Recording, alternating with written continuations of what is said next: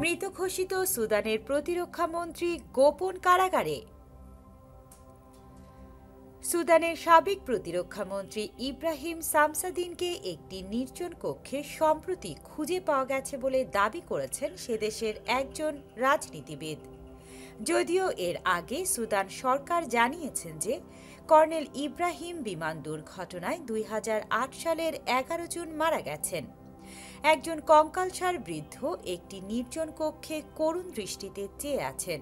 সম্প্রতি সামাজিক যোগাযোগ মাধ্যমে এমন একটি ছবি ছড়িয়ে পড়ে। ছবিতে দেখা যাচ্ছে শুভ্র চুলের এই লোকটির সারা গায়ে ধুলা। তিনি যেখানে বসে আছেন সেই জায়গাটিও ধুলা বালিতে একাকার। তার পরনে একটি জীর্ণ শীর্ণ লুঙ্গি। অসহায় দৃষ্টিতে তিনি তাকিয়ে আছেন ক্যামেরার দিকে। ওই রাজনীতিবিদের দাবি, ছবির এই লোকই সুদানের সাবেক প্রতিরক্ষা মন্ত্রী ইব্রাহিম সামসাদিন যাকে স্বৈর শাসনের প্রতিবাদ করায় প্রায় চব্বিশ বছর আগে জেলে পাঠানো হয়েছিল। অন্ধকারে আলো ফেলে তার ছবি তোলা হয়েছে।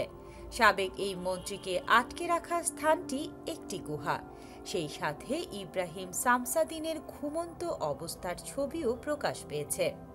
সেখানে দেখা যায় এক টুকরো কাঠের উপর মাথা রেখে বালির উপর শুয়ে আছেন তিনি।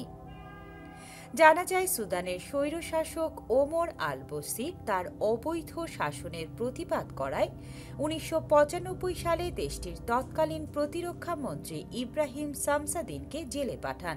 শুধু তাই নয়, দুই সালে সুদান সরকার রাষ্ট্রীয়ভাবে ঘোষণা করেন যে, সাবেক প্রতিরক্ষা মন্ত্রী ইব্রাহিম সামসাদিন বিমান দুর্ঘটনায় মারা গেছেন। ইব্রাহিম সামসাদিনের বর্তমান অবস্থার সাথে সাথে তার মন্ত্রী থাকাকালীন একটি ছবিও প্রকাশ করে আফ্রিকান গণমাধ্যমগুলো। তবে ঘটনা আসলে কোনটা সত্য? সাবেক এই প্রতিরক্ষা মন্ত্রী কি সত্যিই মারা গেছেন? নাকি সম্প্রতি তাকে নির্জন একটি কক্ষে বন্দি অবস্থায় খুঁজে পাওয়া গেছে? মূলত ফেমি ফেনি কায়োট নামে একজন নাইজেরিয়ান রাজনীতিবিদের টুইটার অ্যাকাউন্ট থেকে একটি পোস্টকে কেন্দ্র করে এই বিতর্কের সূত্রপাত।